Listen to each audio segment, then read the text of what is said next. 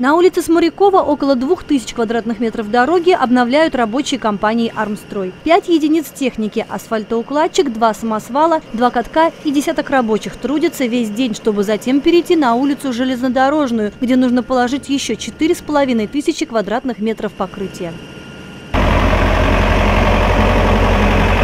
Работы по обновлению городских дорог начались еще в конце июля. Согласно аукциону, изначальная сумма которого была около 5 миллионов рублей, но затем опустилась до 4 миллионов 600 тысяч рублей, дорожники обязаны положить более 10 тысяч квадратных метров нового асфальта на улицах Задорожная, Детский проезд, Смурякова, Железнодорожная, а также обустроить два тротуара на улице Адмирала Жильцова и на Коминтерна возле третьей школы. За месяц работы почти завершены. Осталось заасфальтировать улицу Железнодорожную и благоустроить строить пешеходную зону возле третьей гимназии. Рабочие обещают на этой неделе данные работы выполнить.